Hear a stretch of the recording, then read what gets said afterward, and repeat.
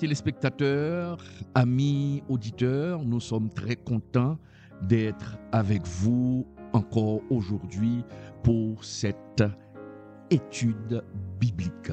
Bienvenue à cette étude. Comme vous le savez, cette étude est diffusée chaque mercredi soir, 7h30, et chaque dimanche soir, 7h30. Nous sommes très contents d'être avec vous encore une fois pour partager la parole de Dieu, pour que vous puissiez bien vous comporter pour être agréable au Seigneur. Comme je le dis souvent, des fois nous péchons par connaissance avec la volonté, mais souvent la grande majorité des chrétiens pêchent par manque de connaissance, par ignorance. Et souvent, le diable, il profite de notre ignorance pour nous faire pécher et rater des occasions que le Seigneur avait pour nous. Normalement, mes chers amis, l'homme est doué d'un grand pouvoir. Quel est ce pouvoir? Le libre arbitre. Vous avez la capacité de choisir. C'est dans votre volonté, c'est à votre portée. Le Seigneur ne entre pas dans ce choix-là. Puisque le diable le sait, eh bien, il nous pousse souvent à faire le mauvais choix. Souvent, il emballe quelque chose dans du papier cadeau. C'est comme une bénédiction. Et pourtant, c'est pas une bénédiction, c'est un piège du malin. Et c'est la raison pour laquelle nous devons demander au Seigneur l'esprit de discernement pour pouvoir savoir, connaître les pièges du malin et savoir quand le mal est enveloppé dans un bien. Souvent le diable agit ainsi. Il nous apporte un mal, mais enveloppé dans du papier cadeau de bien. Et quand nous pensons que c'est le c'est Dieu qui nous donne cette bénédiction et pourtant c'est le diable lui-même qui se déguise, comme le dit la Bible, qui se déguise en ange de lumière pour nous tromper. Et c'est la raison pour laquelle nous devons prier pour que l'ennemi ne nous trompe pas pour que l'ennemi ne nous prenne pas dans un piège ou encore ne, ne, ne, tende pas et, un piège pour nous ou prépare quelque chose mais sous le couvert du bien. Nous devons demander à Dieu cette capacité. Et grand nombre de chrétiens, mes chers amis, ne prient pas pour le discernement. Nous vivons, mes chers amis, dans une époque où il y a beaucoup de tromperies. Il y a beaucoup de faux. Donc si nous n'avons pas l'esprit du Seigneur, si nous n'avons pas la pensée du Seigneur, mes chers amis, on va vous donner des vessies pour des lanternes. On va vous tromper. Et la Bible nous dit aujourd'hui, au dernier temps, il y a beaucoup de faux prophètes. Il y a beaucoup de faux pasteurs. Et les faux sont en plus grand nombre que les vrais. Et c'est la raison pour laquelle la foule adore les faux, croit les faux et considère les vrais comme leurs ennemis. Et pourtant, ce sont les vrais qui conduisent le peuple du Seigneur vers le Seigneur et non vers eux-mêmes. Ce soir, mes chers amis, rappelez-vous, dimanche dernier, nous avons fait une étude sur le comportement du chrétien. Le comportement du chrétien dans l'assemblée, quel doit être le, comportement du chrétien dans l'assemblée et dans la société? Nous avons vu ça ensemble et, dimanche dernier. Et je vous avais dit et je vous avais promis que j'allais faire une étude sur l'attitude. Parce que j'avais dit dimanche dernier que l'attitude ou les pensées influencent le comportement. Souvent, Les gens ont un mauvais comportement à partir d'une mauvaise attitude, à partir d'une mauvaise pensée. Les pensées que cultivent certaines personnes, des pensées négatives, des pensées charnelles, vont influencer le comportement et c'est ce qui va pousser la personne à avoir de très mauvais comportements, à, à, et, à utiliser un langage arrogant et, un langage qui manque de sagesse. Et ainsi, cette personne va rater des occasions. Des fois, vous vous demandez, est-ce que c'est le diable qui, qui vous tienne Est-ce que c'est le diable qui vous empêche d'avancer? Il y a des gens qui m'appellent pour me dire, pasteur, écoutez, le diable m'empêche d'avancer. Le diable est en train de me barrer la route. Là où je vais, je ne peux pas réussir. Si je trouve un job, je ne peux pas rester dans le travail parce que deux mois plus tard, on me renvoie. Mais lorsqu'on fait une étude, lorsque ces personnes m'appellent, je les rencontre et puis je les écoute parler. Et en, les écoutant parler, en les fréquentant pendant quelques temps, j'ai fini par remarquer que cette personne a une très mauvaise attitude ou encore un très mauvais comportement, mes chers amis. Et ce mauvais comportement est le résultat de d'une mauvaise attitude, est le résultat de mauvaises pensées. J'ai rencontré beaucoup de gens et des gens qui ont raté des occasions. En les écoutant, quand ils me parlent, il y a une certaine arrogance. Cette personne n'est pas sage, même quand cette personne demande quelque chose, elle le demande avec arrogance, elle est méfiante. Il y a des gens comme ça. Et maintenant, si vous cherchez de l'aide et que votre manière de communiquer est mauvaise, mes chers amis, je vous assure que vous allez rater des occasions. Dieu peut vous envoyer des gens sur votre chemin. Lorsque vous pensez que c'est le diable qui les enlève, non, le diable n'est pas responsable. C'est votre comportement.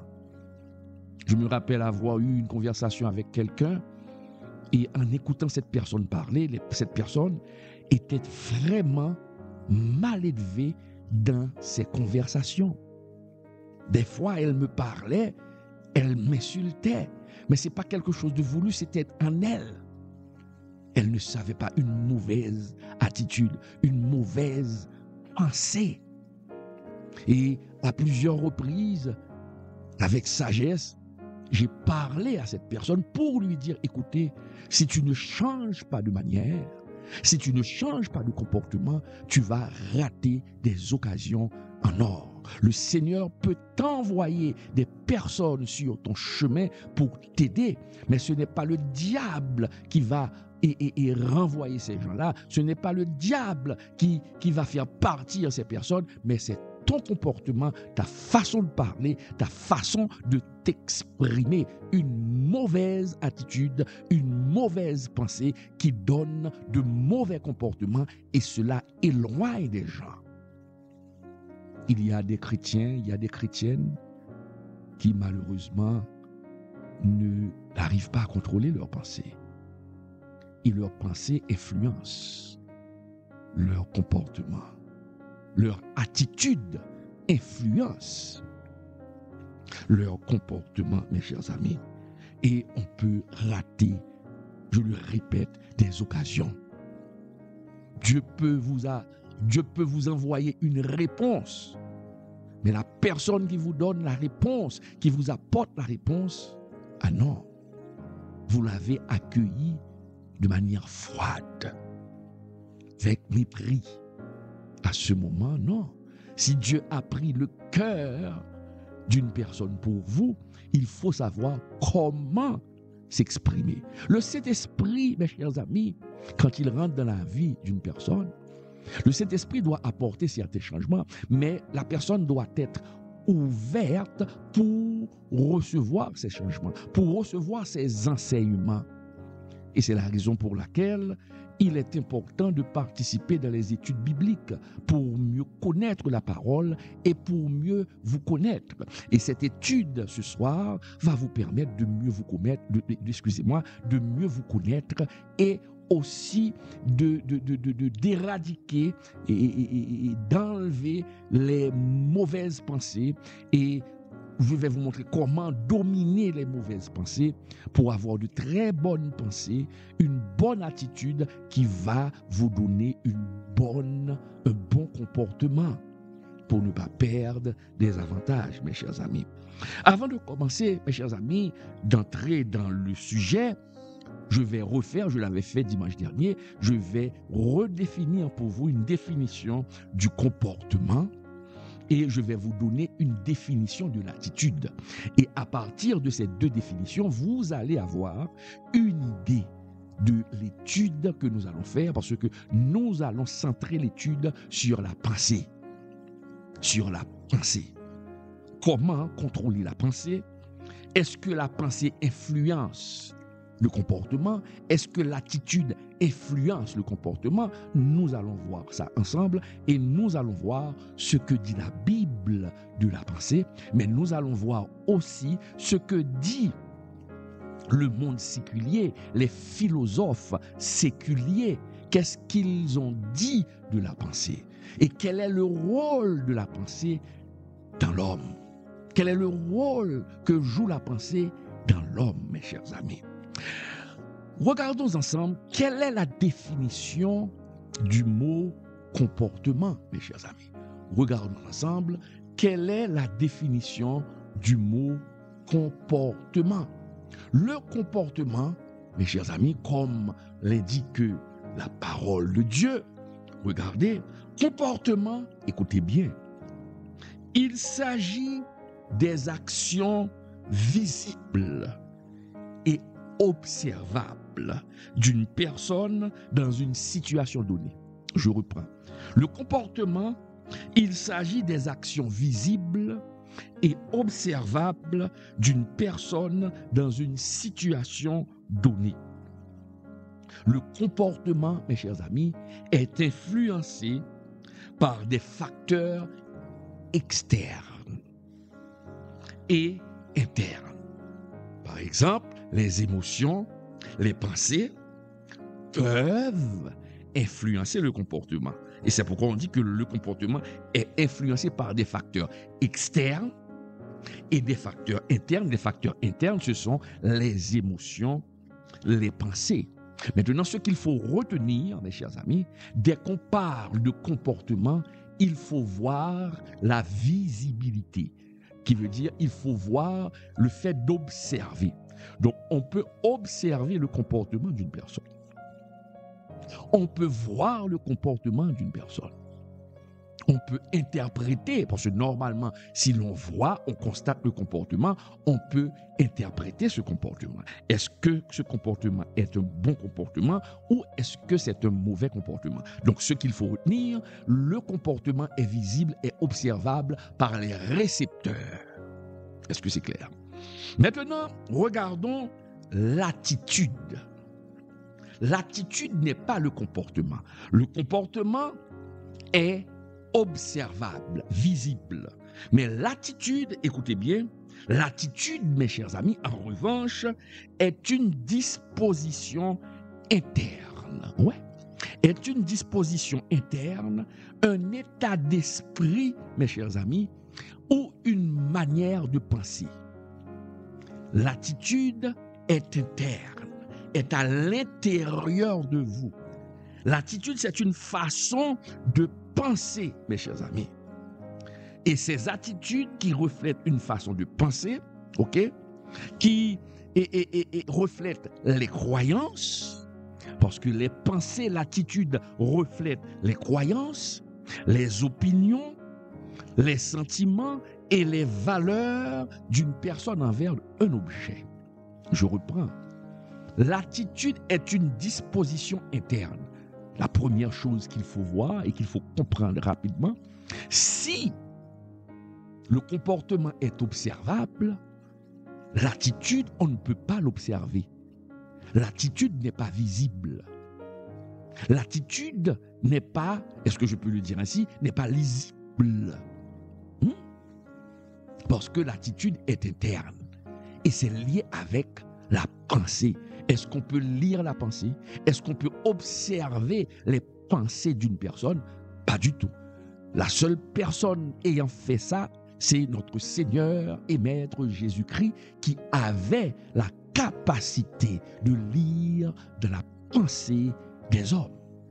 Donc, la pensée est quelque chose d'interne, l'attitude est quelque chose d'interne. Et cela reflète les croyances de la personne, cela reflète les opinions de la personne, l'éducation que la personne a reçue à partir de ces éléments-là. Ces éléments-là vont donner le ton au comportement de cette personne, mes chers amis. J'espère qu'on me comprend très bien jusqu'à présent. Donc nous pouvons dire, mes chers amis, en conclusion, en résumant, le comportement est visible alors que l'attitude est invisible et reflète une manière de penser. Dès qu'on voit attitude, il faut voir la manière de penser. C'est la manière de penser. Et nous allons voir que normalement, la façon dont pense une personne va pousser les personnes, va pousser, excusez-moi, cette personne à avoir un comportement donné. J'espère que je me suis fait bien comprendre pour pouvoir bien saisir ce que je suis en train de dire. La pensée est liée avec l'attitude et l'attitude et la pensée vont avoir une influence, mes chers amis, sur le comportement de l'homme, mes chers amis. Normalement, c'est là qu'on va voir quelque chose, que ce jour, que, que, nous allons voir l'hypocrisie. L'attitude ou pensée peut influencer, comme on vient de le voir, le comportement d'une personne. Mais une personne, mes chers amis, peut parfois agir de manière différente de ce que ses pensées indiquent. Par exemple, la personne peut ne pas croire en Jésus. La personne peut ne pas aimer Jésus. C'est sa pensée. C'est sa pensée. Mais étant donné qu'il vient à l'église, qu'il a besoin de soutirer quelque chose, qu'il a besoin de prendre quelque chose, donc il joue la comédie, il affiche un comportement qui montre qu'il aime Jésus. Est-ce que vous comprenez? À ce moment, on a affaire à des hypocrites, on a affaire à des acteurs. Et ces gens de personnes-là, on les trouve par quantité, par milliers dans les églises. Ce sont des gens qui ont un comportement religieux et pourtant leur pensée est complètement différente. Ils nourrissent des pensées haines. Mais comme dit le proverbe, à chasser le naturel, elle va revenir au galop. Parce que quand on joue à l'hypocrisie avec les affaires de Dieu, tôt ou tard, Dieu va vous démasquer.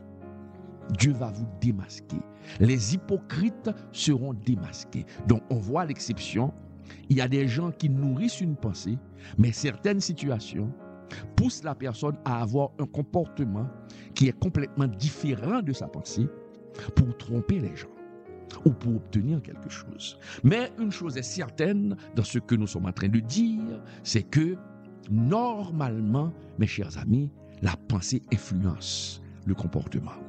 Et des fois, lorsqu'on a une pensée, on croit dans une pensée, on nourrit une pensée. Même quand on peut jouer le film, même quand on peut avoir un comportement qui prend le contre-pied de sa pensée, on finira par se faire découvrir. Parce que normalement, la pensée finira par agir sur le comportement et les gens vont voir que vous étiez un, un menteur, mes chers amis.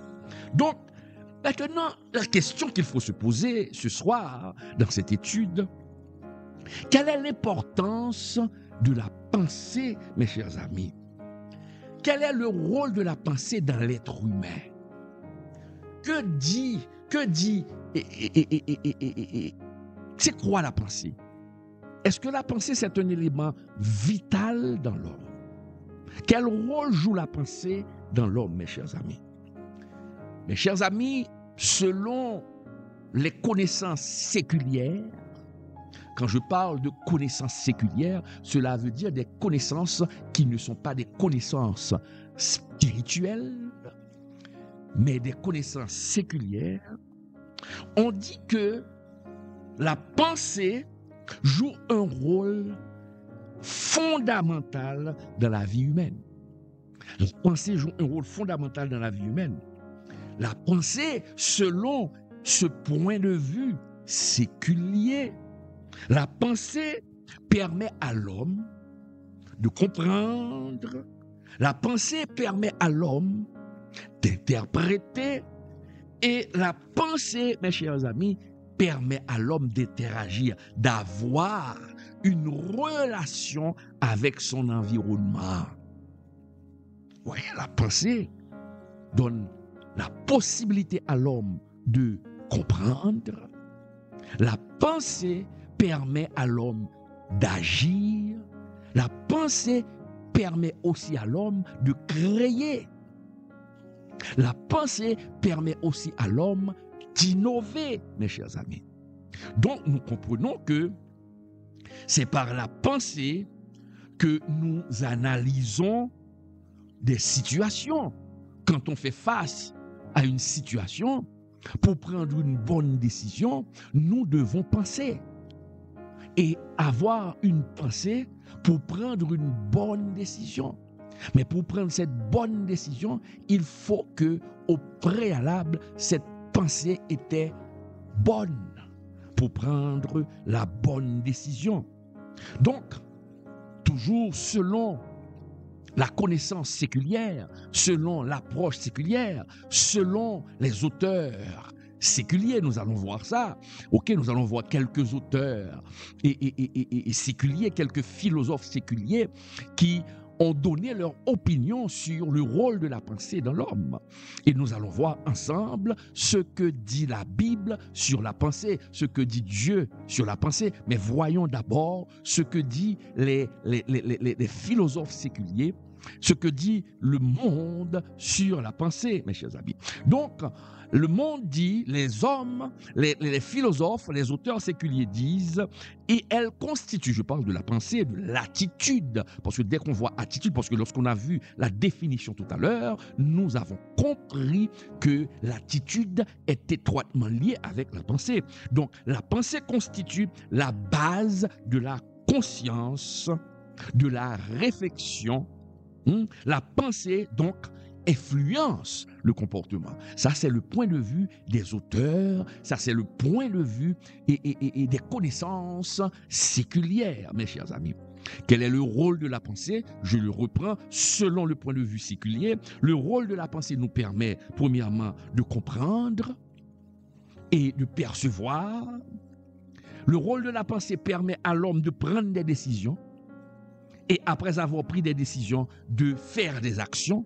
Tout ça, c'est la responsabilité, c'est la pensée qui nous pousse à faire ces choses. La pensée, le rôle de la pensée chez l'homme, la pensée donne l'homme à la donne l'homme la capacité de créer ce qu'on appelle la créativité. La pensée permet à l'homme d'innover, de venir avec de nouvelles choses. Des fois, nous réfléchissons et nous avons une idée et avec cette idée, on vient avec quelque chose. Toutes les grandes inventions que nous regardons aujourd'hui. La caméra, je suis devant une caméra, j'ai un laptop. Ce sont les résultats de la pensée de l'homme. L'avion, c'est le résultat de la pensée de l'homme. Ils ont pensé et ils ont décidé et ils ont agi. Donc vous voyez, la pensée de l'homme était pourtant un homme qui ne pense pas mes chers amis, ne vit pas, mes chers amis. La pensée permet aussi de nous développer personnellement, ce qu'on appelle le développement personnel. À travers la pensée, nous pouvons nous développer, savoir qui nous sommes et penser qui nous sommes et vouloir atteindre d'autres choses. La pensée joue un rôle important dans la vie de l'homme. Sans la pensée, l'homme ne serait pas l'homme. L'homme ne serait pas l'homme, mes chers amis. Donc, la pensée est essentielle nous dit la connaissance séculière, est essentielle pour l'évolution de la race humaine. Donc nous voyons que la pensée est essentielle pour l'évolution de la race humaine, mes chers amis. Beaucoup d'auteurs séculiers, beaucoup de philosophes séculiers, mes chers amis, ils ont donné leur opinion. Ils ont réfléchi sur l'importance de la pensée. Ils ont réfléchi sur l'importance de l'attitude. Rappelez-vous, nous avons vu dans la définition, dès qu'on voit attitude, attitude découle, on voit aussi la pensée, une manière de penser. OK? OK? Donc, l'attitude humaine, la pensée humaine, ces auteurs ont réfléchi sur l'importance. Il y a de grands auteurs, de grands philosophes qui ont réfléchi sur la pensée humaine, nous pouvons citer René Descartes. René Descartes. René Descartes, c'est lui qui est venu avec ce fameux mot-là, cogito ergo sum. Cogito ergo sum, qui veut dire je pense, donc je suis. C'est ce qu'a dit René Descartes. Pour René Descartes, quelqu'un qui ne pense pas n'existe pas. Quelqu'un qui ne pense pas n'existe pas. Tout être humain qui existe, ok, tous les êtres humains qui existent doivent penser. S'il y a un être humain qui, qui ne pense pas, cet être humain n'existe pas. Et c'est pourquoi il a dit, je pense, donc je suis. Si vous pensez, c'est parce que vous êtes réel c'est parce que vous n'êtes pas une science-fiction. Vous ne vous retrouvez pas dans une matrix, dans une matrice, pardon. Je me rappelle du film La matrice et Matrice. OK? Donc, on est réel. On n'est pas en train de vivre quelque chose d'irréel. OK? Nous sommes vraiment réels parce que nous pensons, nous pensons et nous existons, mes chers amis. Donc René Descartes a dit je pense, donc je suis. Un autre auteur, mes chers amis, de grand calibre, on veut parler du philosophe Emmanuel Kant. Emmanuel Kant lui a dit, il a dit que la pensée, pour lui, est liée à la raison. Parce que la pensée pour Emmanuel Kant permet à l'homme de comprendre des phénomènes du monde. C'est à travers la pensée que l'homme peut comprendre les phénomènes du monde. Et il lie la pensée avec la raison. S'il n'y a pas de raison, si l'homme ne peut pas raisonner, il ne peut pas penser. Selon Emmanuel Kant. Donc, il y a des personnes qui pensent, mais qui ne raisonnent pas. Mais pour Emmanuel Kant, quelqu'un qui pense et qui ne raisonne pas, qui n'arrive pas à faire des analyses profondes, pour Emmanuel Kant, cette personne n'existe pas. N'existe pas. Donc c'est pourquoi il lit la pensée avec la raison, mes chers amis. OK? Avec la raison. Et c'est ces pensées, c'est la compréhension des choses, OK Qui permet à l'homme d'avancer, mes chers amis. Donc ça, c'est Emmanuel Kant. OK? Il y a Jean-Paul Sartre. Jean-Paul Sartre, il, a prôné une philosophie, c'est la philosophie existentialiste. existentialiste, pardon. Il voit, mes chers amis, pour Emmanuel, pour Jean-Paul Sartre, il voit la pensée comme une manifestation, mes chers amis, de la liberté humaine. Donc, une personne qui est libre doit normalement penser. Pour Jean-Paul Sartre, la façon dont il décrit la pensée, pour Jean-Paul Sartre, une personne esclave ne peut pas penser. Or, la pensée, c'est la manifestation de la liberté humaine. C'est de la philosophie. Il y a beaucoup de débats qu'on pourrait faire autour de cette thèse d'Emmanuel Kant. Mais je vous donne les grands auteurs séculiers qui ont parlé de la pensée. Et nous allons voir maintenant, nous allons comparer, ok Nous allons comparer le point de vue séculier avec le point de vue de Dieu sur la pensée. Nous allons faire cette différence pour voir. Donc, pour Jean-René, pour Jean-Paul Sartre, pardon, ok, la pensée, c'est la manifestation de la liberté humaine, mes chers amis. Et René, je ne sais pas pourquoi je dis René Descartes tout le temps, et Jean-Paul Sartre, il a clairement dit, la pensée donne l'opportunité à l'homme de choisir, libre arbitre.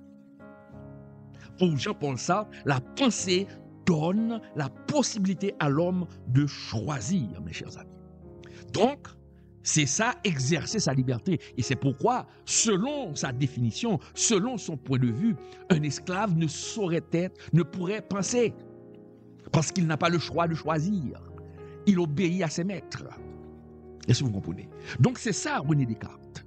Et, Jean-Paul Sartre, définitivement, hein, il y a René Descartes qui me colle là. Hein, et, donc, vous voyez, donc, la pensée de choisir selon Jean-Paul Sartre, la pensée donne à l'homme la capacité de choisir. Et c'est ce qui rend l'homme libre, selon Jean-Paul Sartre. Nous allons nous arrêter et, à partir de ces trois, et, avec ces trois auteurs. Il y a d'autres auteurs, il y a beaucoup d'autres auteurs qui ont exprimé leur pensée, leur point de vue sur la pensée, Platon et bien d'autres. Mais nous, nous, restons là. Nous restons là avec euh, René Descartes qui dit Cogito ergo sum, je pense donc je suis. Pour Jean-Paul, pour René Descartes, le fait de penser prouve notre existence, prouve l'existence de l'homme. Pour Emmanuel Kant, la pensée est liée à la raison. Elle permet de comprendre des phénomènes du monde. Donc si la pensée, selon Emmanuel Kant, n'est pas liée à la raison, cette personne ne, ne pense pas. Il faut que la personne ait la capacité de raisonner, d'analyser. À ce moment, on peut dire que la personne pense. Ça, c'est selon Emmanuel Kant. Et Jean-Paul Sartre dit que la Penser, c'est la manifestation de la liberté humaine. Une personne qui n'est pas libre ne peut pas penser, car pour Jean-Paul Sartre, mes chers amis, la pensée, c'est le pouvoir de choisir. C'est ce que pensent certains auteurs séculiers maintenant. Maintenant, mes chers amis, nous allons examiner ensemble ce que Dieu pense de la pensée humaine. Nous allons examiner ensemble ce que la Bible dit de la pensée, mes chers amis. Et nous allons voir est-ce que la définition ou les points de vue séculiers reflètent les points de vue bibliques? Est-ce que cela reflète la volonté de Dieu? Nous allons voir ça ensemble. Ce soir, mes chers amis, ok? Donc, mes chers amis, je dois vous dire que la parole de Dieu met beaucoup l'accent sur la pensée. Sur la pensée. Et nous allons voir des points de ressemblance entre la position ou la déclaration ou les points de vue des auteurs séculiers et le point de vue de la Bible, le point de vue de Dieu. Il y a des ressemblances. Parce que vraiment, mes chers amis, la parole de Dieu, quand on lit la parole, met beaucoup l'accent sur la pensée. Et Dieu nous exhorte, mes chers amis, à être extrêmement vigilants envers ce que nous pensons. ce que nous pensons. Et pourquoi la Bible nous demande d'être extrêmement vigilants sur ce que nous pensons? C'est parce que Dieu sait que la pensée de l'homme, l'attitude de l'homme a des répercussions sur le comportement de l'homme. On peut même dire que la pensée modélise le comportement de l'homme, mes chers amis. Et c'est pourquoi la Bible nous dit de veiller sur ce que nous pensons, mes chers amis. Dans la Bible, les pensées, mes chers amis, se présentent comme étant au cœur des actions humaines. Ah, la Bible présente les pensées comme étant au cœur des... Qui veut dire que ce sont les pensées, mes chers amis, qui déterminent les actions humaines. Ce sont vos pensées qui déterminent qui vous êtes, mes chers amis. C'est vos pensées qui donnent forme à votre personnalité. Si vous êtes une personne, un enfant qui a été élevé dans la mesquinerie, vous avez été élevé dans la disette,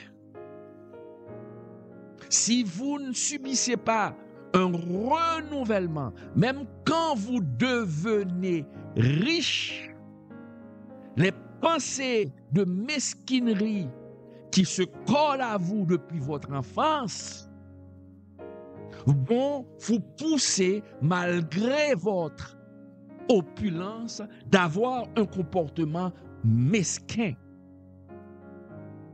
Et c'est pourquoi je vous dis souvent, quand on parle de bourgeois, avoir des pensées larges, des pensées, je dirais même dit, je dirais même de, de, de, de des pensées positives, pas de pensées mix, mesquines, si je peux le dire ainsi. Hein? Vous allez voir, même quand une personne n'a pas d'argent, mais l'éducation qu'elle a reçue, c'est pourquoi on va voir que on a vu que les pensées, l'attitude est liée avec les croyances, la tradition, l'environnement. C'est ce qui forme la pensée de l'homme, l'attitude de l'homme. Quelqu'un qui a été élevé dans la mesquinerie, même quand elle a de l'argent de main, cette personne aura toujours un comportement mesquin s'il ne renouvelle pas sa façon de penser. Quand on parle de bourgeois, la bourgeoisie, ok, on ne peut pas assimiler la bourgeoisie au fait de posséder des biens, au fait de posséder de l'argent. Car la bourgeoisie, être un bourgeois, c'est dans la mentalité, c'est dans la pensée. Quelqu'un peut ne pas avoir d'argent, mais a une grande mentalité, une mentalité évolutive. Et pourtant, une autre personne peut avoir beaucoup d'argent, mais a des pensées régressives parce qu'elle a été élevée dans un milieu mesquin. Donc, il faut faire très attention lorsqu'on parle d'attitude, lorsqu'on parle de pensée. Or, si Christ est mort pour nos péchés, non seulement il est mort pour nos péchés, mais aussi il est mort pour faire de nous une nouvelle créature. Et c'est cette nouvelle créature, si dans le monde païen, vous étiez des personnes ayant des pensées négatives, quand vous acceptez Christ, vous devez prier pour que Dieu puisse renouveler votre pensée.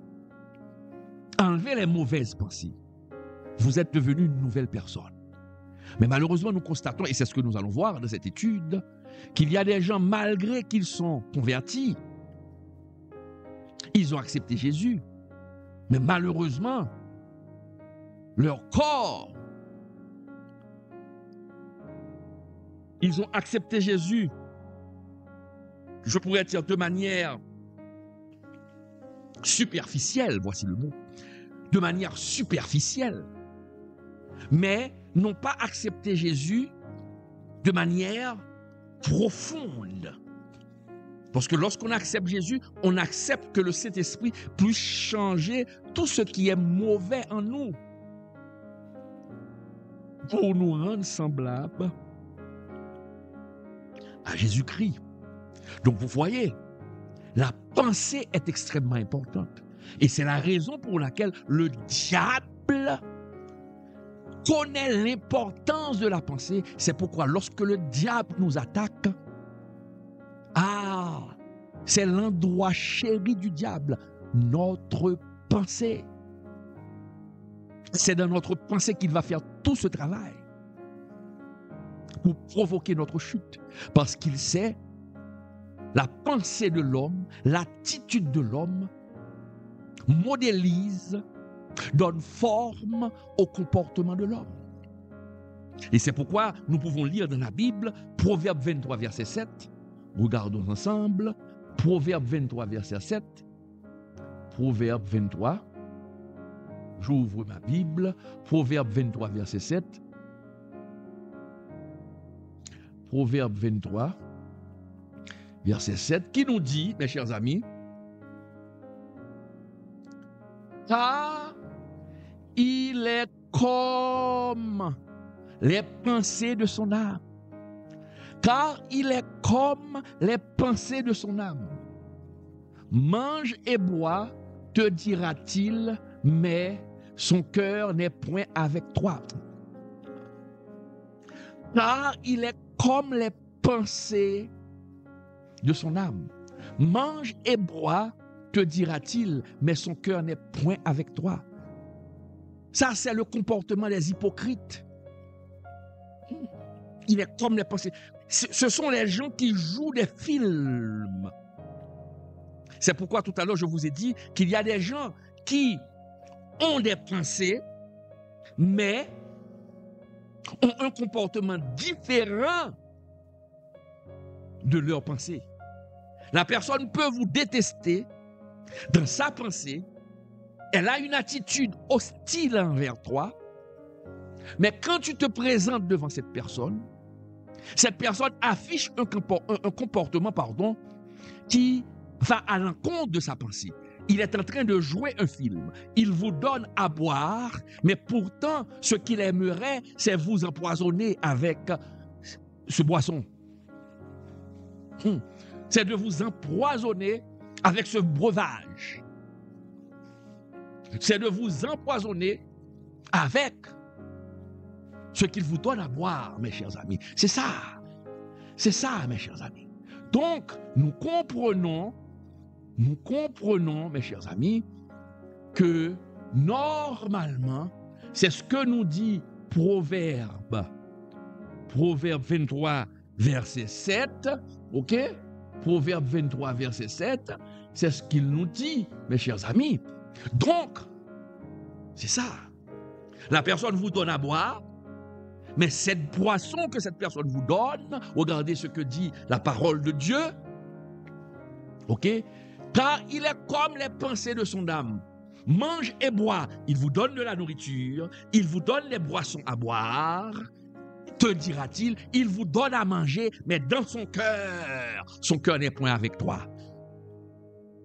Il y a des gens qui vous disent, mange, mange, mange, mange, je vous donne à manger, je vous donne à manger, mange à ton aise. Et pourtant, son cœur est contre toi. Après, cette personne va médire de toi, va casser du sucre sur ton dos. Il te dit de manger. Après, cette personne va se plaindre auprès de ses amis pour dire que ce type mange beaucoup, mais qui l'avait invité à manger C'est toi. Les hypocrites, ce sont des gens qui ont de mauvaises pensées, qui jouent au film, qui jouent des pièces de théâtre. Il est comme les pensées de son âme. Mange et bois, te dira-t-il? Son cœur n'est point. Ah, c'est une parole forte. Donc nous voyons que il y a de l'hypocrisie. Mais ce passage nous montre que l'homme agit selon ce qu'il pense. Il peut vous dire mange et bois, mais son cœur n'est pas avec toi. Plus tard, c'est cette personne qui va vous détruire. Et vous allez voir que le fait qu'il vous avait dit de manger et boire, c'était du mensonge. C'est quand cette personne vous tue ou que cette personne vous, vous met dans une situation difficile, c'est à ce moment que vous allez voir que cette personne n'était pas avec vous, qu'il était comme la pensée de son âme. C'est la Bible. C'est la Bible. Nous sommes en train de, de faire, comme j'ai l'habitude de le dire, nous sommes en train de faire parler la Bible, mes chers amis. Nous sommes en train de faire parler la Bible. OK? Nous sommes en train de faire parler la Bible. Attends, je vais arranger, mes chers amis, rapidement. Nous allons arranger les choses. OK Il est comme la pensée de son âme. Vous comprenez? Voilà. Donc, c'est ça, mes chers amis. Nous comprenons ici que la Bible est claire. Les pensées influence les, les, les, actions des hommes, le comportement des hommes, mes chers amis. Hmm. Et comme je le répète, je le dis, c'est la raison pour laquelle, je le dis encore, que Satan s'attaque à nos pensées, parce qu'il sait l'importance de la pensée humaine, mes chers amis. C'est la raison pour laquelle, mes chers amis, Dieu nous demande de contrôler nos pensées. C'est pourquoi Dieu nous demande de contrôler nos pensées, car il sait que normalement, hmm, il sait que normalement, la pensée détermine notre avenir. La pensée détermine ce que nous voulons être. Et c'est pourquoi nos pensées doivent s'aligner avec la volonté de Dieu non pas avec la volonté du monde, mes chers amis. Dieu nous demande de contrôler nos pensées. Et nous devons prier le Seigneur pour que le Seigneur nous donne la possibilité de contrôler. Nous ne pouvons rien faire sans le Seigneur. Et c'est pourquoi nous devons inviter le Seigneur à contrôler nos pensées pour ne pas faire des bêtises. Parce que le diable peut vous donner des mauvaises pensées dans le but de vous perdre. Lisons maintenant Psaume 139, verset 23. Psaume 139. Psaume 139.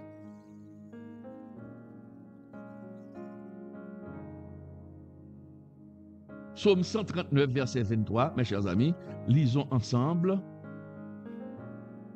Hmm, je vous rappelle que vous suivez l'émission Études bibliques avec le pasteur Claude Emmanuel Camille. Et ce soir, mes chers amis, nous sommes en train d'étudier l'attitude. Nous sommes en train d'étudier la pensée humaine. Est-ce que la pensée humaine influence et, tel le comportement humain et comment contrôler la pensée, mes chers amis. 139, je dis, 139, verset 23.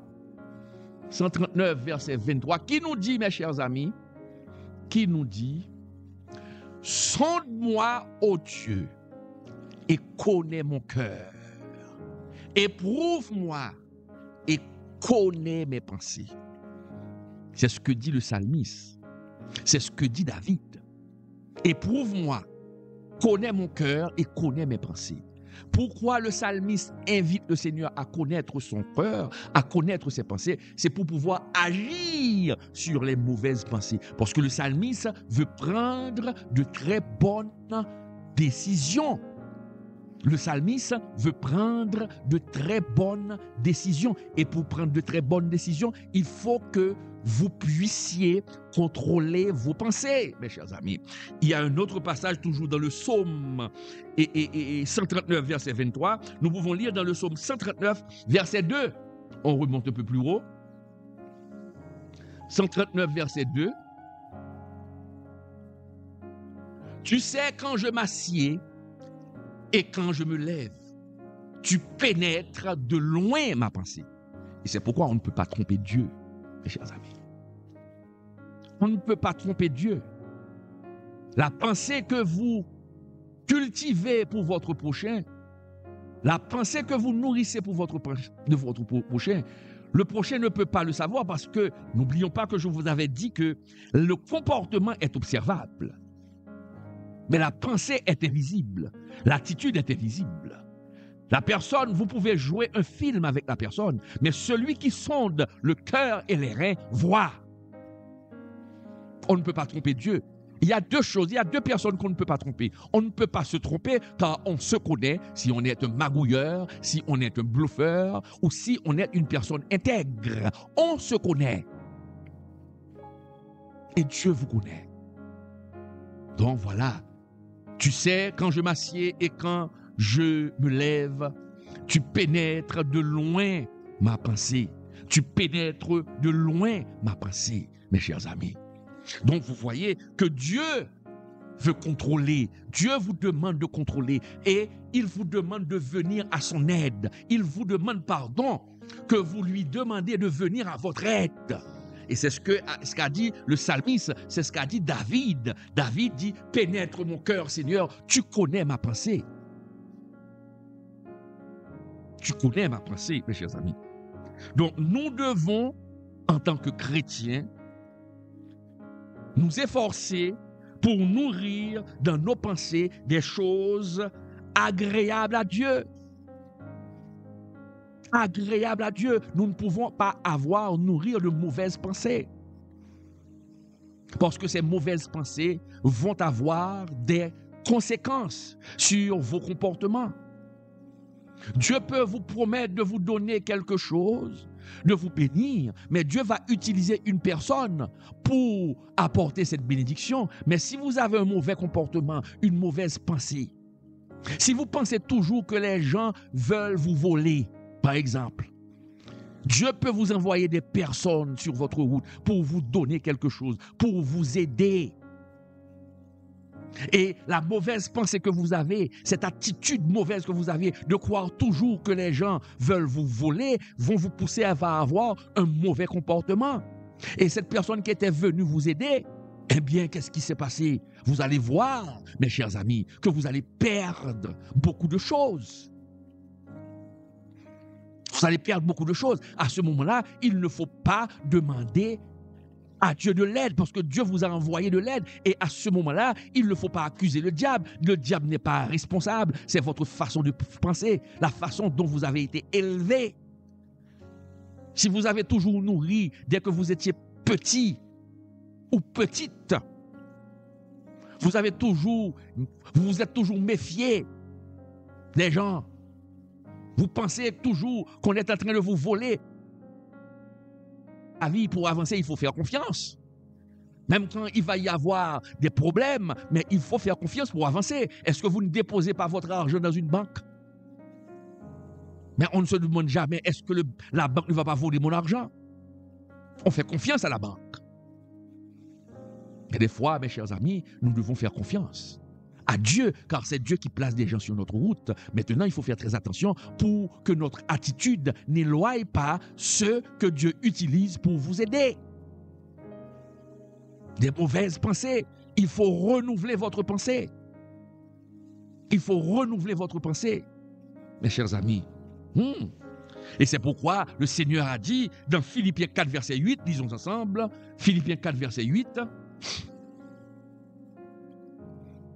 Philippiens 4, verset 8, c'est dans le Nouveau Testament.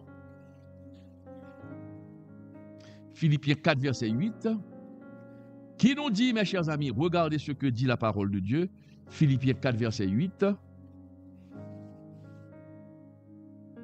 Au reste, frère, que tout ce qui est vrai, tout ce qui est honorable, tout ce qui est juste, tout ce qui est pur, tout ce qui est aimable, tout ce qui mérite l'approbation, ce qui est vertueux et digne de louange, soit l'objet de vos pensées. Soit l'objet de vos pensées. Est-ce que vous comprenez? Au reste, frère, que tout ce qui est vrai, tout ce qui est honorable, tout ce qui est juste, tout ce qui est pur, mes chers amis, soit l'objet de vos pensées, mes chers amis. C'est ça. Soit l'objet de vos pensées. Tout ce qui mérite l'approbation soit l'objet de vos pensées. Il faut nourrir des pensées positives pour que ces pensées puissent influencer votre comportement. Ça, c'est important, mes chers amis. C'est important. La Bible dit clairement, mes chers amis, que nos attitudes, nos pensées qui influencent nos comportements, ce sont nos attitudes, nos pensées qui influencent nos comportements. Donc nous devons nourrir des pensées positives pour accoucher de très bons comportements. Est-ce que vous comprenez? J'espère que vous me comprenez jusqu'à présent que ça va pour vous, ok? Mes chers amis, quand Jésus était sur la terre, c'était Dieu. Il avait la capacité de lire dans la pensée des hommes. Jésus a lu dans la pensée des hommes. Il savait ce que pensaient les hommes. Et c'est pourquoi on ne pouvait pas tromper Jésus. On peut tromper d'autres hommes.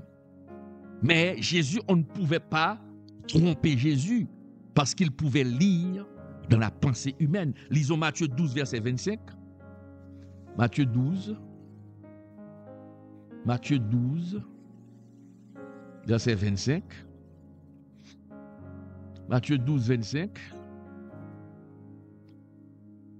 Qui nous dit, comme Jésus connaissait leurs pensées, il leur dit, tout royaume divisé contre lui-même est dévasté. Et toute ville ou maison divisée contre elle mène, même ne peut subsister. Comme Jésus connaissait leurs pensées.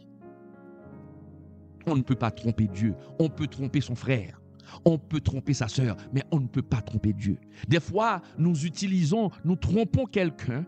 La personne ne peut pas lire dans nos pensées, mais après votre conscience vous reproche. Conscience vous reproche. Ok? Donc Jésus lit dans nos pensées. Nous ne pouvons pas tromper Dieu. Nous ne pouvons pas tromper le Saint-Esprit. Nous ne pouvons pas tromper Jésus car ils lisent dans vos pensées, mes chers amis. Luc 5, verset 22. Luc 5, verset 22.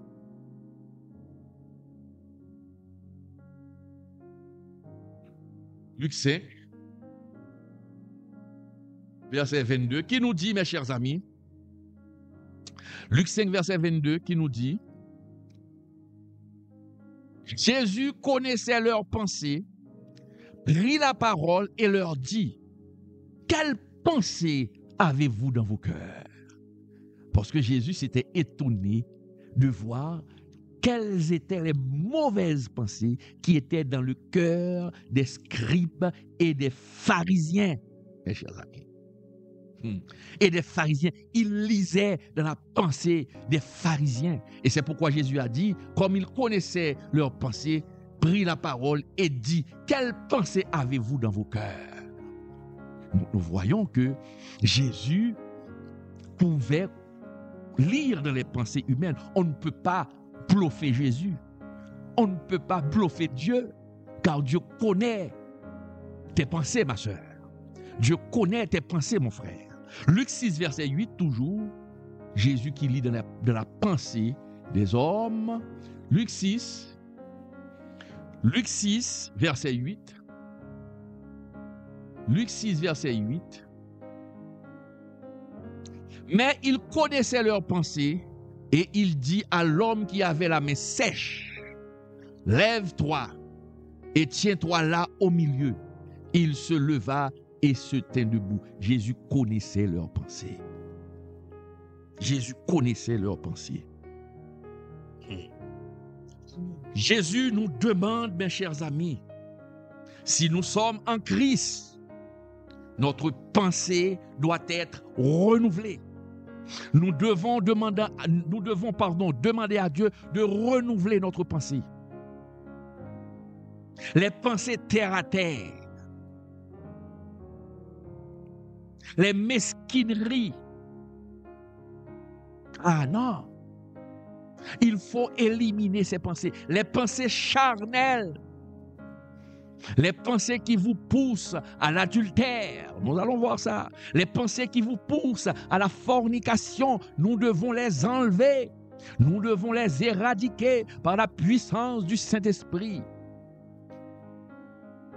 C'est ce qui arrive à certains chrétiens de nos jours, qui tombent dans le péché, qui se prélasent dans la boue, parce que ces chrétiens n'arrivent pas à contrôler leurs pensées. Il faut stopper les pensées des fois. Nous allons voir ça plus devant. OK? Donc, mes chers amis, nous voyons. Hmm, Dieu nous demande de contrôler nos pensées et de renouveler nos pensées et de ne pas nourrir dans notre esprit les pensées du monde. Lorsqu'on voit qu'il y a des artistes qui s'habillent comme le monde, des artistes qui mettent des boucles d'oreilles, je parle des garçons, des hommes qui mettent des boucles d'oreilles, qui montent sur la chair de l'église avec des jeans déchirés. Qu'est-ce qui se passe? C'est parce que leurs pensées ne sont pas renouvelées. Ils ont toujours les pensées charnelles, les pensées du monde. Des artistes qui ont leur tête embarbelée.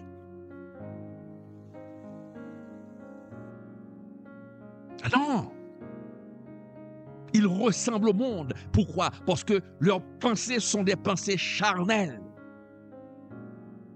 Et c'est pourquoi la Bible nous dit, Romains 12, verset 2. Romains 12, verset 2. Tout le monde connaît ce passage, mais c'est le passage le plus méprisé de la Bible. Surtout par les chrétiens modernes. Surtout par les chrétiens modernes. Romains 12. Ne vous conformez pas au siècle présent, mais soyez transformés par le renouvellement de l'intelligence, afin que vous discerniez quelle est la volonté de Dieu, ce qui est bon, agréable et parfait. Ce qui est bon, agréable et parfait. Soyez renouvelés. Le Seigneur nous demande de transformer, de nous transformer par le renouvellement de notre intelligence, par le renouvellement de notre pensée. Mes chers amis, et c'est ce qui arrive. Nous devons combattre. Et c'est pourquoi la Bible nous dit que seuls les violents vont s'emparer du royaume des cieux. Nous devons faire violence sur nous des fois pour que les pensées charnelles ne prennent pas le dessus. Et il est très facile de voir quand une personne est animée par des pensées charnelles, il faut regarder son comportement. Hmm. Des pensées charnelles. Quand une personne parfois monte sur la chair, est en train de prêcher quelque chose qu'elle n'applique pas dans sa vie, ah non, cette personne a des pensées charnelles, cette personne est hypocrite. Il donne un message, mais qu'il n'applique pas dans sa vie. C'est un hypocrite. Il parle, mais ce qu'il dit prend le contre-pied de ses pensées. Un hypocrite, c'est facile de reconnaître parce que lorsqu'on rentre dans la vie de cette personne, on, voit ce qu'elle a prêché dans sa vie réelle, elle ne l'applique pas. Des fois, il y a des gens qui prêchent, il y a des pasteurs qui prêchent, il y a des fidèles qui connaissent tellement bien le pasteur qu'il est en train de mentir sur la chair que cette personne est en train de cuiper. Ah, c'est grave si vous êtes en train de prêcher et qu'on est en train de vous cuiper. Hmm. Ah, c'est grave. Parfois, la personne peut avoir ce comportement parce que vous dites trop la vérité. La personne peut vous cuiper comme ça. Mais il y a de ces gens-là qui font ça, c'est parce que ces gens-là savent que ce que vous dites n'est pas réel dans votre vie. Des pensées charnelles, des hypocrites. Tous les hypocrites ont des pensées charnelles. C'est parce qu'ils sont animés par des pensées charnelles. Toutes ces personnes sont animées. Quand on est hypocrite, un hypocrite reconnu d'utilité publique, vous êtes animé par des pensées charnelles, mes chers amis. On ne doit pas penser comme le monde pense, mais nous devons penser comme Dieu nous demande de penser. La pensée de l'homme du monde l'entraîne à la rébellion contre Dieu, c'est ça. La pensée de l'homme du monde entraîne l'homme à la rébellion contre Dieu. Maintenant, si on est chrétien, nous ne pouvons pas rentrer dans cette rébellion en caressant les pensées du monde. On oublie la Bible, on oublie ce que dit la Bible pour satisfaire les pensées du monde. Hmm. Et c'est la raison pour laquelle, mes chers amis, l'apôtre Paul, il a élevé la voix, il est monté au créneau, c'est ce que veut dire monter au créneau, il a élevé la voix, il est monté sur tous les trois pour crier haut et fort, mes chers amis, pour dénoncer les mauvaises attitudes. Il a élevé la voix, il est monté sur tous les trois pour dénoncer les mauvaises pensées, mes chers amis. 2 Corinthiens 10, 5. 2 Corinthiens 10, 5. 2 Corinthiens 10, verset 5. Nous renversons, nous renversons les raisonnements et toute hauteur qui s'élève contre la connaissance de Dieu. Et nous amenons toute pensée captive, hmm, toute pensée captive à l'obéissance de Christ. Nous renversons les raisonnements et toute hauteur qui s'élèvent contre la connaissance de Dieu. Tous les raisonnements, ce sont les pensées du monde. Hmm. qui s'élèvent contre la connaissance de Dieu. N'oublions pas que je vous avais dit, la pensée, les pensées du monde sont en rébellion contre Dieu. Et c'est pourquoi le raisonnement, rappelez-vous, je vous ai ouais, mais nous renversons tous les raisonnements. Rappelez-vous ce qu'a dit Emmanuel Kant tout à l'heure. Emmanuel Kant a lié la pensée avec le raisonnement. Et dans la Bible, il est dit là maintenant, nous renversons les raisonnements et toute hauteur. Vous voyez le lien? Nous renversons tout raisonnement et toute hauteur qui s'élève contre la pensée de Dieu et nous amenons toute pensée captive, tous les raisonnements, nous devons les amener à l'obéissance de Christ.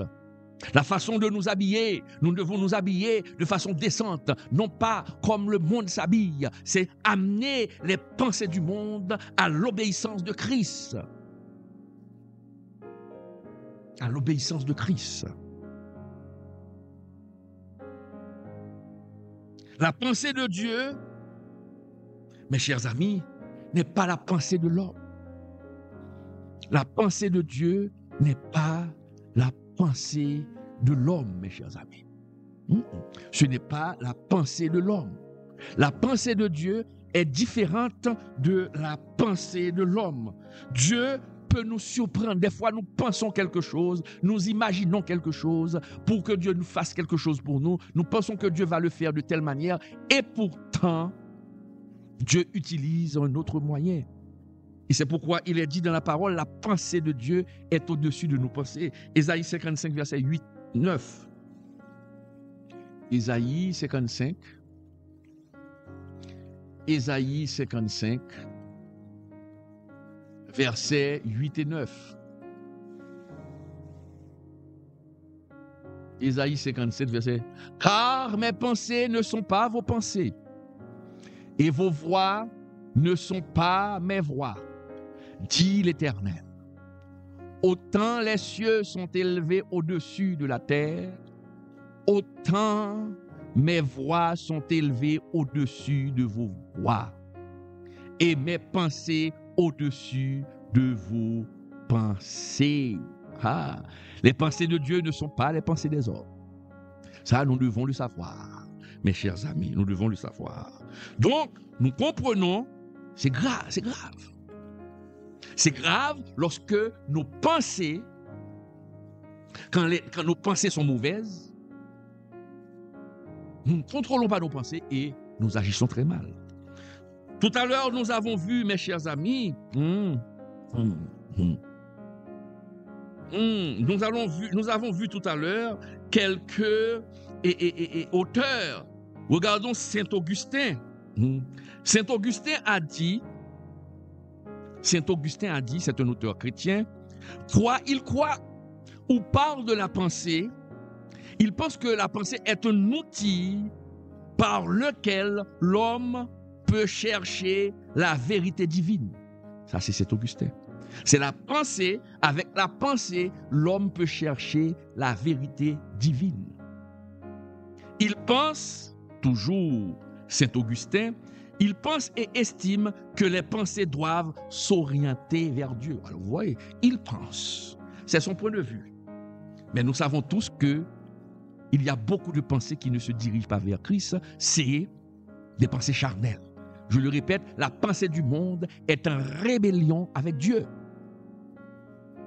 Et nous devons normalement, mes chers amis, nous devons normalement contrôler nos pensées pour avoir les pensées de Dieu, mais non les pensées du monde. À chaque fois que nous nous, nous accommodons au monde, nous nous mettons dans le moule du monde. Et c'est pourquoi la parole dit, ne vous conformez pas au monde. Cela veut dire, ne vous mettez pas dans le moule du monde. Mais à chaque fois que vous le faites, vous embrassez la pensée du monde. C'est la pensée du monde qui occupe votre pensée. Et cette pensée va vous pousser à avoir de drôles de comportements. De drôles de comportements, mes chers amis. Hmm, de drôles de comportements. Hmm. Donc, c'est, ce sont les pensées. Nous allons voir que le fait de penser différemment, comme nous sommes dans la Bible, nous allons voir que ce sont les pensées différentes qui donnent naissance aux divisions. La façon de voir la Bible. Par exemple, aujourd'hui, il y a des pasteurs qui ne prêchent que sur la bénédiction.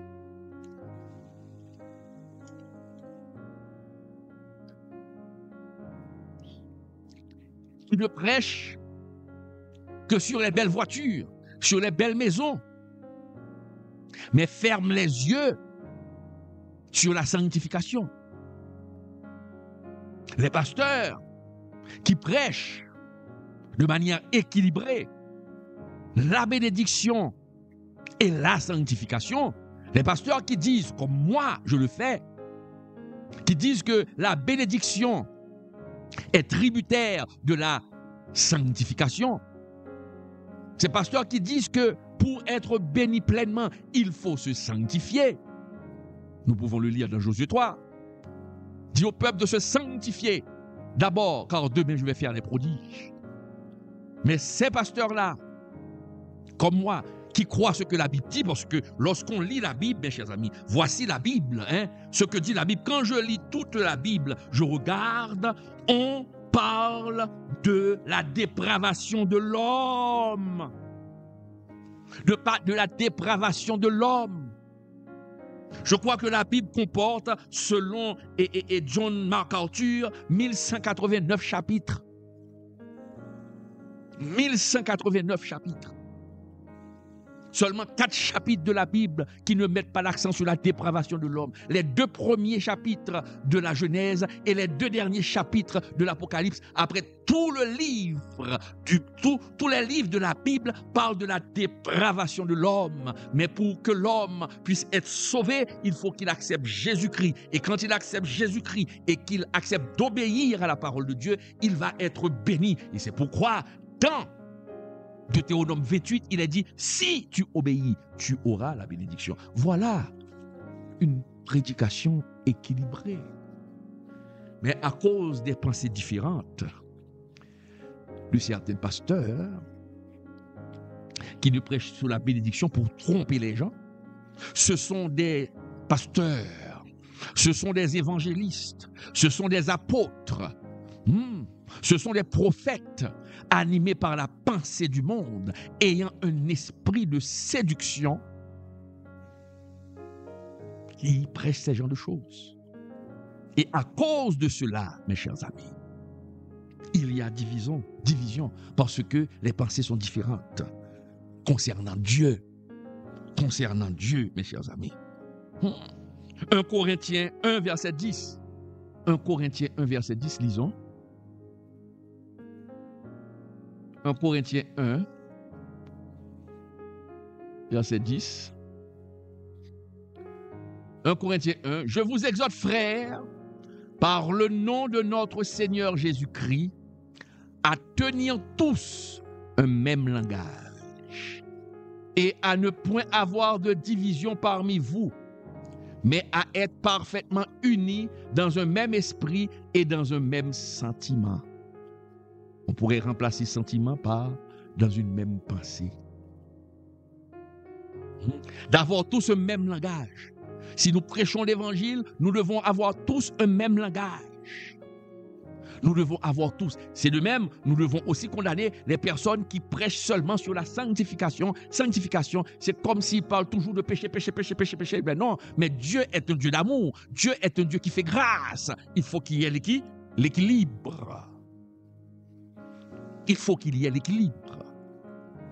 Il faut qu'il y ait l'équilibre. Donc nous voyons, mes chers amis, ok, l'homme animal, l'homme qui n'est pas régénéré, mes chers amis, nourrissent toujours de mauvaises pensées. Je répète, l'homme animal, l'homme qui n'est pas régénéré, nourrissent toujours de mauvaises pensées, mes chers amis. Nourrissent toujours de mauvaises pensées. Ésaïe 55, verset 7. Lisons ensemble. Ésaïe 55, verset 7.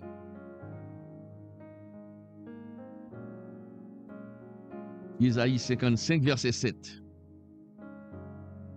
Que le méchant abandonne sa voie et l'homme d'iniquité ses pensées, qu'il retourne à l'Éternel, qui aura pitié de lui, à notre Dieu qui ne se lasse pas de pardonner, que le méchant abandonne sa voie. Hmm.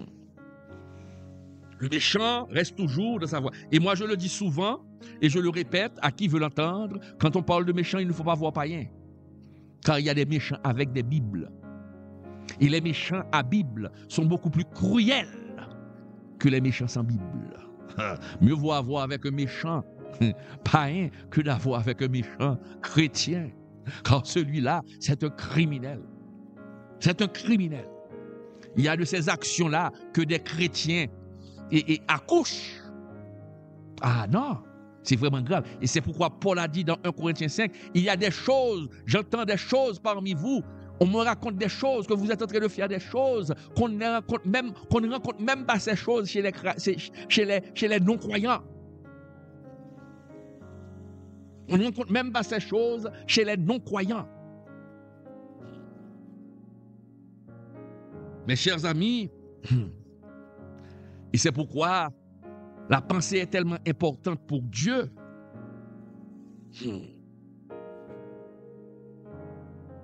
Jésus a dit, parce que ce que l'on pensait dans les temps anciens, on pensait qu'on on commettait un péché quand on passait à l'action. Par exemple, on pensait qu'on commettait un péché quand on couche avec une fille. On pensait qu'on commettait un péché quand on prend une arme et qu'on tue quelqu'un. C'est quand on tue quelqu'un qu'on commet le péché. C'est ce qu'on pensait. Mais Jésus est venu, il est allé plus loin. Parce que le fait d'accoucher, le fait de commettre l'acte, il y a un élément déclencheur de la chose. Vous avez couché avec une fille, ça c'est vous, vous avez passé à l'action. Mais qu'est-ce qui a déclenché cette envie? Qu'est-ce qui a déclenché cette envie? C'est la pensée. C'est la pensée qui a déclenché cette envie. Hmm? Et c'est pourquoi il faut contrôler. La pensée, c'est comme un déclencheur. Cela déclenche quelque chose. Et c'est pourquoi Jésus a dit, hmm, c'est pas quand on commet l'acte qu'on commet le péché. Mais dès qu'on le pense, on a déjà commis le péché. La pensée. Dès qu'on le pense, on, on a déjà commis la pensée. On a déjà commis, pardon, le péché. Le péché prend naissance dans la pensée. Dans la pensée de l'homme. Hmm. C'est dans la pensée de l'homme, mes chers amis. Et c'est la raison pour laquelle la Bible nous exige de combattre le péché de la pensée, le péché qui prend naissance dans la pensée. Un péché qui prend naissance dans la pensée, de la pensée, pardon. Quand on parle beaucoup, on finit par faire des lapsus. Bon, cela se comprend. Et quand cela déclenche le péché dans la pensée, mes chers amis. Matthieu 5, verset 28. Matthieu 5, verset 28. Matthieu 5, verset 28.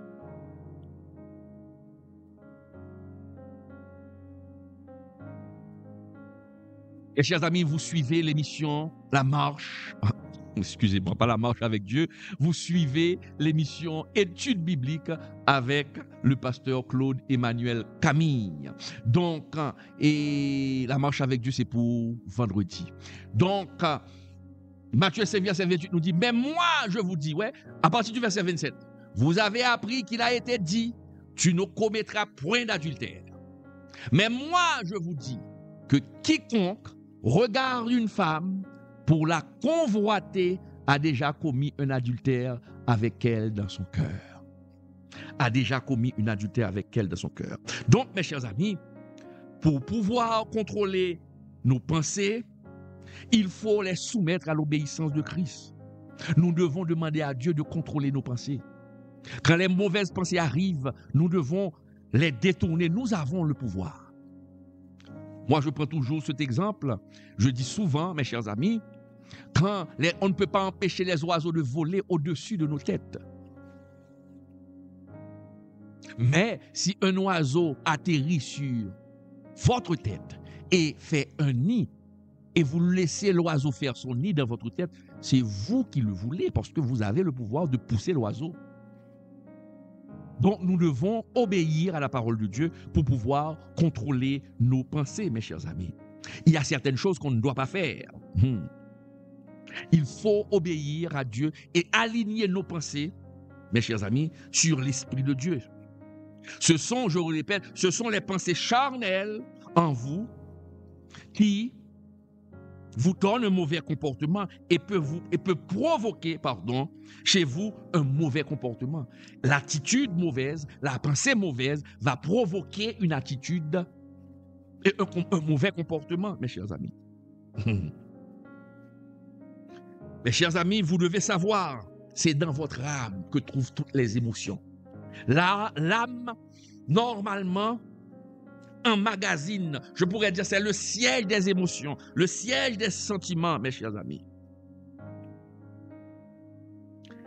La décision, je le répète, la décision de mener une vie spirituelle ou de mener une vie charnelle dépend de votre façon de penser, mes chers amis. Si vous nourrissez des pensées charnelles, vous, ces pensées charnelles vont vous pousser à avoir de très mauvais comportements. La pensée, je le répète, c'est le déclencheur. La pensée, c'est le déclencheur. Vous devez, ce qui déclenche le péché, vous pouvez empêcher. Nous pouvons prendre l'exemple, mes chers amis, mes chers amis, on se le rappelle de l'histoire de David et de Bathsheba. Qu'est-ce qui a poussé David à coucher à Bathsheba? C'est le déclencheur. David n'a pas su stopper le déclencheur. C'est quoi le déclencheur? La pensée. Lisons ensemble. 2 Samuel 11, verset 2. 2 Samuel 11, verset 2. 2 Samuel 11, de Samuel 11, verset 2. De Samuel 11, verset 2. Un soir, lisons, un soir, David se leva de sa couche et comme il se promenait sur le toit de la maison royale, il aperçut, souligné, il aperçut, souligné, il aperçut. Il aperçut de là une femme qui se baignait et qui était très belle de figure. David fit demander qui était cette femme et on lui dit N'est-ce pas Bathsheba, fille d'Eliab, femme d'Uri, le Hétien Et David envoya des gens pour la chercher. Elle vint vers lui et il coucha avec elle. Après s'être purifiée de sa souillure, elle retourna dans sa maison. Hmm. Maintenant, faisons une petite analyse, mes chers amis. Il est écrit dans le verset 2, il est écrit David aperçu. Hmm. Que, que nous raconte l'histoire David était dans sa chambre, il s'est levé et il s'est rendu sur le balcon royal. Il s'est rendu sur le... Et pendant qu'il était sur le balcon, car le balcon était haut, il a aperçu une femme en train de prendre un bain. Mes chers amis, une femme qui prend un bain ne peut pas prendre un bain avec ses amis. Une femme qui prend un bain ne peut pas prendre son bain avec des vêtements. Donc il est clair, il n'y a pas de discussion là-dessus, Bathsheba était nue. Et la parole nous dit que David perçut, aperçu. Quand on aperçoit quelque chose, on ne prête pas attention. On peut regarder quelque chose, et puis. Mais le mot aperçu qu'on a traduit ici, aperçu, n'oubliez pas que l'Ancien Testament a été écrit en hébreu. Le mot hébreu qui a traduit aperçu, c'est le mot raha. Raha. R-A, virgule, A-H. Raha. Que signifie raha? Littéralement Littéralement, raha signifie voir, apercevoir, regarder, observer. Donc, nous devons comprendre que David a observé. David a regardé. David a contemplé. David a admiré. Mes chers amis, il y a trois étapes quand on pense. Quand la pensée est mauvaise. La pensée, hmm, normalement, il y a des hommes ici, quand on regarde une femme nue, ah, la pensée, premièrement les yeux, vous convoitez avec les yeux, vous regardez. Qu'est-ce qui est arrivé à David? Il a regardé et il a vu Bathsheba nue. Qu'est-ce qu'il devait faire? Le déclencheur, la pensée. Il devait rapidement détourner son regard. C'est comme ça on stoppe la pensée. On détourne son regard. On détourne son regard. Mais au lieu de détourner son regard, il a observé, il a regardé. Et quand on regarde une femme nue, la pensée, qu'est-ce qui va faire? Qu'est-ce qui va se passer? La pensée va donner naissance à quoi? La pensée va donner naissance à l'imagination.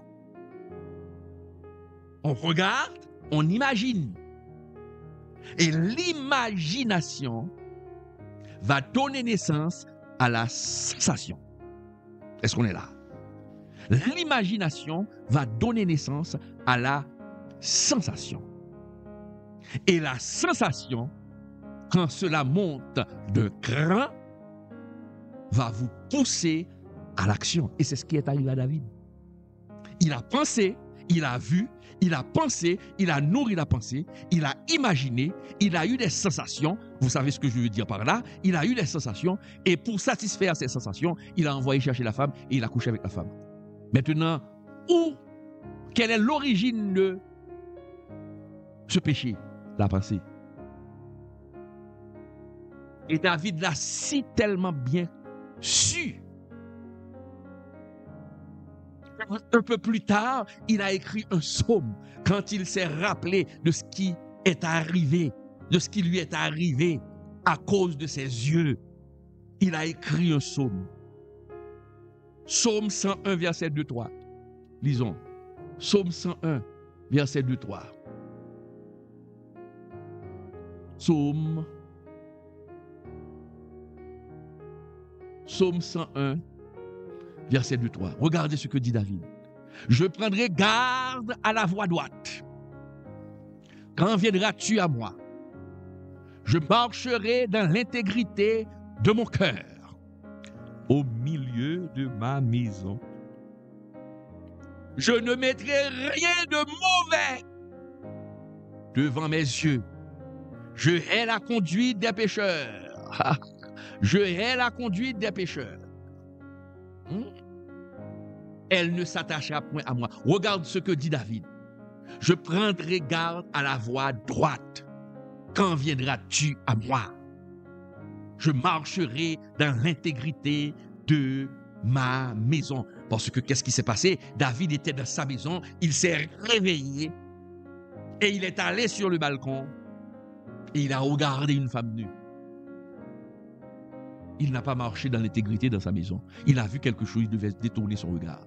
Mais après ce qui est arrivé, et c'est pourquoi Dieu avait dit que David est un homme selon mon cœur. Il reconnaît ses fautes et il se détourne de ses fautes, mes chers amis. Il y a plusieurs personnages de la Bible. À part David, il y a plusieurs personnages qui ont eu de mauvaises pensées et ont été victimes de leurs mauvaises pensées. Ces mauvaises pensées ont accouché de mauvais comportements et ils ont été victimes. Nous pouvons citer, mes chers amis, Ananias et Saphira. Ananias et Saphira, ils avaient, ils caressaient des idées de tromperie, des pensées de tromperie, des pensées de cupidité, mes chers amis. Ils ont menti à l'Église, ils ont menti à Dieu. Disons qu'ils ont vendu un champ et ils ont gardé l'argent. Ils ont gardé la grande partie, une grande partie de l'argent c'est la pensée de cupidité. La cupidité peut nous faire faire beaucoup d'erreurs. Il y a beaucoup d'Anania et Saphira à notre époque qui font beaucoup d'erreurs, qui sont très cupides. Ceux qui vendent l'évangile pour de l'argent, ils sont devenus cupides. Ils mentent à Dieu. Il y a beaucoup de gens qui mentent à Dieu à cause de l'argent. Dieu les a bénis, mais ils veulent encore plus. Ils ne sont pas satisfaits de ce qu'ils ont. Donc, ils commettent beaucoup de péchés la cupidité, la pensée de la cupidité. Et c'est pourquoi ces gens-là, ces leaders-là, accouchent de très mauvais comportements. Ils sont devenus des fiers menteurs. Des fiers menteurs.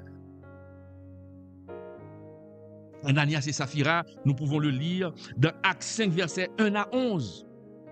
Dans Acte 5, verset 1 à 11 l'histoire d'Anania et Aphira. Acte 5, versets 1 à 11. Ouais. Mais un homme nommé Anania avec Saphira, sa femme, vendit une propriété et retint une partie du prix. Hmm. Sa femme, le sachant, puis il apporta le reste et le déposa aux pieds des apôtres. Pierre lui dit, Anania, pourquoi Satan a-t-il rempli ton cœur? A-t-il rempli tes pensées? Mais c'est grave. On ne vous a rien demandé. On ne vous a rien demandé. Vous avez décidé de vendre un champ. Oh, je vais le donner au Seigneur. Après avoir vendu ce champ, on vous donne l'argent. Maintenant, vous constatez que l'argent est trop. Maintenant, vous prenez la moitié ou même plus d'argent et vous donnez le reste. Or, vous avez dit avant que l'argent sera donné à l'Église. Vous avez menti au Seigneur. Il y a des gens comme ça, oui. On n'a rien demandé à, ces personnes.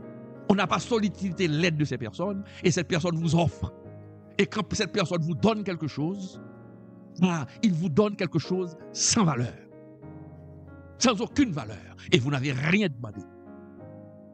Vous n'avez rien demandé. C'est ça. C'est ce qu'a fait Anania et Saphira. Dieu n'avait rien demandé à Anania. Dieu n'avait rien demandé. Ils ont décidé de le faire. Mais si vous avez décidé de le faire, faites le bien. Faites le bien. Donc, les pensées de cupidité ont envahi le cœur d'Anania et de Saphira, mes chers amis. Judas Iscariote, les pensées d'avidité, mes chers amis, les pensées de trahison hmm, ont eu raison de Judas. Il a vendu le Seigneur pour 30 pièces d'argent, pour 30 gouttes, pour 30 centimes. parce qu'il avait des pensées d'avidité. Il y a des gens qui font des bêtises pour de l'argent, mais pour des, sommes, des sommes banales. Imagine une personne qui, qui, qui souille sa personnalité. J'ai connu quelqu'un, mes chers amis, cette personne avait une grande valeur pour moi à mes yeux, mais cette personne a fini par me décevoir car il a souillé sa personnalité pour 150 dollars US. Pour 150 dollars US. Il a perdu sa personnalité. Mais c'est ce qui est arrivé. C'est un Judas Iscariote. La pensée de l'avidité. Celui qui est, qui est cupide, avide, fera n'importe quoi pour n'importe quelle somme. Mes chers amis, Judas, à cause de ça, il s'est pendu, mes chers amis. Nous avons Salomon. Salomon, au, au début de son règne, Salomon a nourri des pensées positives. Ah, des pensées positives. Il a demandé à Dieu de lui donner la sagesse. C'était des pensées positives. Lisons dans 1 roi 3, verset 9-12. Lisons dans 1 roi 3. 1 roi 3. 1 roi 3, verset 9 et 12. Salomon, dans un premier temps, il a demandé à Dieu la sagesse. Il était rempli de pensées positives. Il voulait faire des choses positives pour le Seigneur. 1 roi 3, verset 9 à 12, il a dit, accorde donc à ton serviteur un cœur intelligent pour juger ton peuple, pour discerner, pour discerner le bien du mal. Car qui pourrait juger ton peuple, ce peuple si nombreux? Hmm. Ce peuple si nombreux, cette demande de Salomon plut au Seigneur. Ah, cette demande. Hein? Et Dieu lui dit, puisque c'est là ce que tu me demandes, puisque tu me demandes pour toi ni une longue vie, ni les richesses, ni la mort de tes ennemis, et que tu demandes de l'intelligence pour exercer la justice, voici, j'agirai selon ta parole. Je te donnerai un cœur sage et, un et intelligent, de telle sorte qu'il n'y aura personne avant toi et qu'on ne verra jamais personne de semblable à toi. Quand on est animé, mes chers amis, des pensées d'humilité et de sagesse, mes chers amis, ces pensées nous poussent à faire de bonnes actions et dans la vie de Salomon, une grande partie de la vie de Salomon. Salomon a fait des choses extraordinaires. Il a fait des choses extraordinaires. Mais malheureusement, dans la vie, à la fin de la vie de Salomon, il a laissé les pensées positives, les pensées de Dieu. Et il s'est laissé prendre dans le piège des pensées de complaisance. Ah, des pensées de complaisance C'est quoi la complaisance? Le fait de faire plaisir aux autres. Quand on fait plaisir aux autres, vous êtes animé de pensées de complaisance. Pour faire plaisir aux autres, on peut même ne plus respecter la parole de Dieu. Il y a des gens pour faire plaisir aux autres, violent la parole de Dieu pour faire plaisir aux autres. Il y a beaucoup de chrétiens comme ça, des pensées de complaisance. Eh bien, les pensées de complaisance ont conduit Salomon à sa chute. 1 roi 11, verset 1 à 4. 1 roi 11. 1 roi 11, verset 1 à 4. Le roi Salomon aima beaucoup de femmes étrangères, outre la fille de Pharaon, des Moabites, des Ammonites, des Édonites, des Sidoniennes, des Étiennes, appartenant, appartenant aux nations dont l'Éternel avait dit aux enfants d'Israël, vous n'irez point chez elles, et elles ne viendront point chez vous. Elles tourneraient certainement vos cœurs. Lorsqu'on n'écoute pas Dieu, elles tourneront certainement vos cœurs du côté de leur Dieu. Ce fut à ces nations que s'attacha Salomon Entraîné par quoi? Entraîné par l'amour. Il voulut faire plaisir à ses femmes et il a construit des temples au Dieu de ses femmes païennes. Mes chers amis, il est clair, nous devons contrôler nos pensées. La, pensée, c'est l'élément déclencheur. Quand on veut tuer quelqu'un, c'est pas quand on tue la personne qu'on commet le péché, mais on a caressé le meurtre dans sa tête. Quand on déteste quelqu'un et que malheur arrive à cette personne et que vous vous réjouissiez, vous êtes un meurtrier. C'est ce que Jésus dit. Vous êtes un meurtrier. Car vous vous êtes réjoui. Vous n'avez pas commis l'acte, mais vous êtes réjoui. Vous vous êtes réjoui que quelqu'un ait fait l'acte. Donc vous êtes un meurtrier. Mes chers amis, il faut contrôler vos pensées. Il faut contrôler votre attitude pour ne pas rater les bénédictions du Seigneur. Mes chers amis, ça a été vraiment un plaisir d'être avec vous pour cette étude biblique sur l'attitude et sur la pensée. J'espère que vous avez beaucoup appris et que le Seigneur vous a parlé.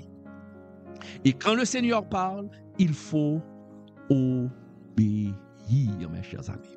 Je vous rappelle pour vos questions, si vous avez des questions, vous pouvez écrire vos questions en commentaire parce que je ne pourrai pas avoir le temps de répondre à ces questions pendant le live. Pour, ça peut m'empêcher de me concentrer et vous allez voir que souvent je ne réponds pas au bonjour, mais je vous aime tous. C'est pour rester concentré parce que certains de mes abonnés m'ont dit à chaque fois que tu réponds à chaque question ou encore à chaque intervention dans le chat, eh bien cela distrait les autres. Et j'ai compris, j'ai compris, j'ai regardé quelques vidéos et ça effectivement ça peut déranger quand on et, on coupe et puis on regarde et puis on parle, ça coupe et donc j'ai je préfère maintenant aller avec l'étude.